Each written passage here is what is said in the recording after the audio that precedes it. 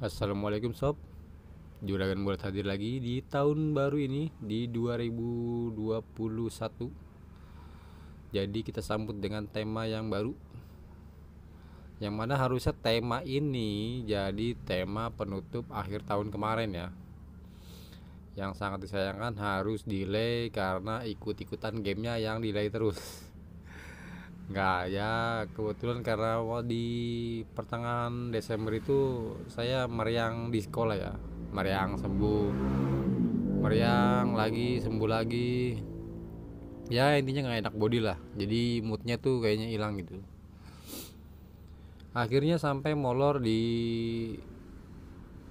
awal tahun baru ini sampai tanggal 9 ya sekarang ini ya ya seperti inilah uh, di sampai di beberapa kayaknya ada yang saya kelupaan juga ini. Seperti di contohnya mungkin nggak terlalu penting sih nanti bisa diedit. Di lock screen ini harusnya ini di bawah aja greeting itu ya di welcome back itu welcome back. Welcome back itu harusnya di bawahnya itu eh, lokasi kita ya lokasi pribadi harusnya itu di situ. Saya lupa diedit saya dari copy paste dari next city nya ya udah nanti bisa diri sendiri. Ini login screen atau fake lock screen. Dan ini file ini tidak di lock.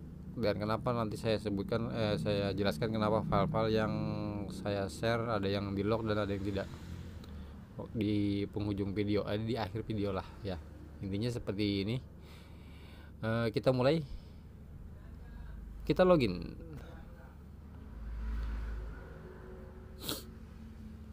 sorry kalau agak berisik suara hidung agak pilek juga ini masih enak body bener ya di sini main screennya ya seperti ini. Paling atas foto indikasi power baterai ya. Chargingnya juga nanti nggak terlalu neko-neko. Sini tengah itu ada tanggal informasi alamat dan ini notifikasi ini ya notifikasinya bisa dihapus yang di logo ini. X ini bisa diklik untuk menghapus notifikasi. Klik ini untuk uh, notifikasinya teksnya untuk membuka notifikasinya. Di bawahnya ada aplikasi shortcut favorit ya telepon sini ada WhatsApp dan Facebook di bawahnya hanya tiga di bawahnya lagi ada di dock bar ini ada tiga tab saya hanya kasih tiga tab aja mempersingkat lah ya. Kita langsung ke appsnya. Harus ini screen satu ini ya. Ini ya iya. Ini seperti biasa tiga background scroll. Jadi kita buat tiga background scroll. Tiga layar kosong di Nova Launcher ya supaya bisa digeser kiri kanan. Nah ini favorit aplikasi. Sini ada shortcut Play Store ini yang kecil yang kecilnya lagi kamu bisa edit lagi terserah lah ya. Kita geser. Ini ada game favorit. Di sini semua ada Mobile Legend. Kamu bisa edit lagi nanti. Dan di sini ada ruang kosong buat kamu yang mau ngedit-ngedit mau di siapa lah ya di sini Oke, sudah itu aja untuk aplikasi favoritnya. Hanya tiga layar. Kita ke player. Sini tab playernya, aduh kita kecilin dulu ya. Oh iya ini indikator volume ya, bukan playtime barnya ini, bukan musik playtime. Yang ini volume bar ini dan playtime barnya ini ada di sini bulat-bulat ini. Kita coba play aja dulu ya. Kita kecilin dulu. Kecilin dulu kecilin kecilin. Ya seperti ini. Stop. Play. Saya pernah melakukan zina dan minum oke. okay. oh ya uh, untuk yang ininya uh, playlistnya ini fake ya uh, palsu ya. Soalnya semenjak Google Play Music itu di teh di, di shutdown sama Google jadi kan udah nggak bisa apa bikin playlist ya. Sementara kan eh sementara soalnya kan emang iya waktu itu kan hanya K KWP hanya support dari Google Play Music untuk membuat playlist. Jadi playlist yang selanjutnya itu hanya kebaca kalau kita menggunakan Google Play Music. Sedangkan Google Play Music sudah dimatikan sama Google. Jadi saya coba formulanya untuk aplikasi mu musik yang lainnya nggak support. Jadi saya hanya untuk uh, eh hanya untuk hanya membuat playlist ini buat hiasan aja jadinya. Karena ini semuanya palsu kayak seperti di preset uh, apa ya? Ah lupa lah ya intinya kita langsung ke tab news saja ya kelamaan nanti lama dicurhat. Oke ke news. Sini juga tiga background scroll ya. Jadi kita geser bisa ya. Sini ada tiga halaman. Tiga halaman untuk sport. Kita klik untuk ke teknologi. Sini juga teknologi ada tiga halaman dan general untuk berita umum ini. Biasa linknya URL nya itu bisa kamu ganti dengan website favorit kamu ya. Dan ini ada tombol refresh. Barangkali ini beritanya stuck di sini kamu bisa refresh ya. Nggak tahu nih jalan nggak ini nggak tahu lah ya. Mungkin butuh beberapa saat untuk menunggu berubah beritanya ya kita skip. Itu nutupnya ini yang ada logo radio kita klik. Klik radio. Tuh untuk menutup. Itunya apalagi sih udah ya ini doang. Udah saya nggak sempat naruhin kalender takut kelamaan lagi. Dan itemnya juga hampir penuh soalnya di KLWP nya itu udah penuh. Ini aja ada beberapa aksesoris yang saya mat saya terpaksa hapus karena udah nyaris menyentuh angka 92 jadi untuk biar lega saya hapus jadi ada 87 kali ya. Ini statusnya online ya uh, di sini di foto ini statusnya online. Kalau kita data kita matikan dia akan jadi offline. Iya harusnya memalukan ini. Harusnya offline ini dia. Agak lemot mungkin ini karena ya oke okay lah ya langsungnya ke kita ke setting. Itu tadi kita klik yang kipas kecil lah dia. Oh kita exit dulu. Kalau ini kipas kecil ini kita klik. Di sini ada greeting option aja. Niatnya mau dikasih macam-macam ya cuman itemnya itu udah udah hampir full gitu. Jadi bingung udahlah ini aja. Saya nggak sempat bikin kredit juga ini jadinya Inggris di sini ada bahasa Inggris untuk greeting aja ya untuk sapaannya aja yang good morning. Ya, selamat pagi itu ada Jawa Indonesia dan sini ada tambahan satu lagi Jepang. Biasanya saya cuma tiga sini kasih Jepang. Dengan teks Jepangnya dia udah seperti ini aja kita exit. Dan seperti biasa oh iya di sini untuk saat playing eh, play musik ya di background. Jadi nanti di sini ada yang harusnya tadi uh, informasi cuaca dan lokasi di sini berubah jadi no playing musik yang sedang diputar dan waktu yang tersisa.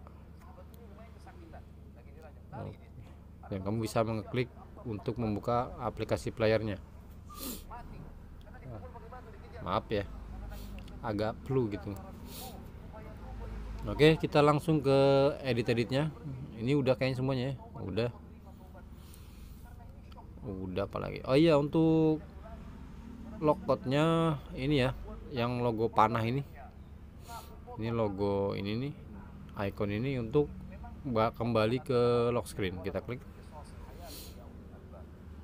Iya seperti itu. Untuk warna kamu bisa edit sendiri di ini di global setting seperti biasa ya. Karena saya nggak bikin opsi tema di eh, opsi warna di temanya di bagian setting. Karena udah kebanyakan lihat itemnya. Ini aja terpaksa saya ada yang hapus ya. Jadi tiga ini bagian aksesoris ini kosong. Oh iya di sini saya kasih ini ya. Ja, apa namanya? Apa sih ini? Separator ya ya ini menandakan area aksesoris ini bagian login screen. Ini berarti item yang ada di login screen yang misalnya kamu mau edit jadi kamu nggak puyang-puyang nah ini yang di bagian aksesoris saya hapus karena hampir penuh. Terus ya seperti itulah ya. Kamu nanti di sini bisa ganti-ganti.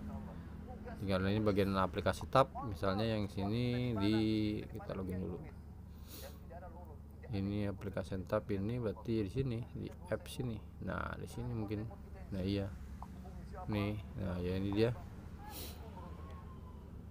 Begitu juga seterusnya. Ini mp3 player tab berarti kalau kamu klik ini nanti yang bagian di sini yang diedit edit ini ya koper dan lain-lain lah ya. Terus untuk nama seperti biasa ada di global. Hmm, ini nama ini nama di sini ini foto profil. Dan apalagi ya, udah ya? Uh, iya. Ini nggak perlu ini nggak perlu. Nah di edit ya nggak perlu. Ini warna uh, yang pengen diganti-ganti. Kamu bisa ganti-ganti warna di sini. Misalnya pengen warna pink gitu. Oh, jadi gitu kira-kira nah, iya mantap jiwa. Wih keren juga ya. Wih mantap juga ini ya. Ya kayak gitulah ya uh, untuk warna. Jadi saya nggak sempat bikin bukan yang sempat sih karena itemnya udah kebanyakan banget. Ya paling kalau itu nanti lain waktu lah ya jadi jadiin satu. Jadi animasinya agak kurang nantinya ya seperti itu. Dan ini URL nya untuk URL generalnya ini teknologi dan ini untuk sportnya. Kamu bisa ganti dengan URL atau RSS feed kesukaan kalian sendiri. Ya seperti itu. Oh iya. Untuk penjelasan kenapa apa namanya kenapa di lock dan cara mengetahui yang nggak di locknya itu gimana? Sebelumnya ya saya minta maaf juga. Saya nggak jelasin nggak di nggak ter, saya jelaskan ya nggak saya tulis di deskripsi atau di itu di blog. Kalau filenya di log karena untuk mengecek log uh, file yang di log itu sebenarnya gampang kalau kamu membuat preset yang di log ya ini ya saya bikinnya banyak yang di revisi diganti edit edit itu ya. Banyak rombak-rombakan loh kacau nih bentar dulu. Mana ya? Di mana ya ya? Yang di lock nggak ada ya?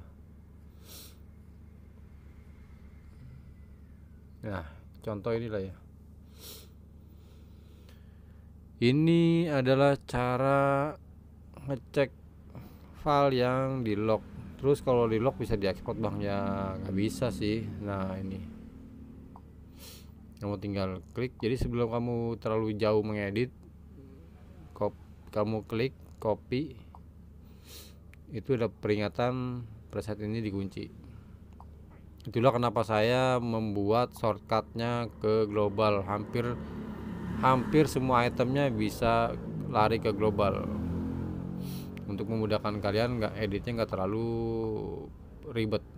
Seperti itulah kira-kira. Saya usahakan file yang di yang di lock itu saya rubah saya targetkan shortcutnya ke global. Karena suatu saat saya niatnya pengen emang sempat dulu pengen taruh di Playstore kira-kira seperti itu.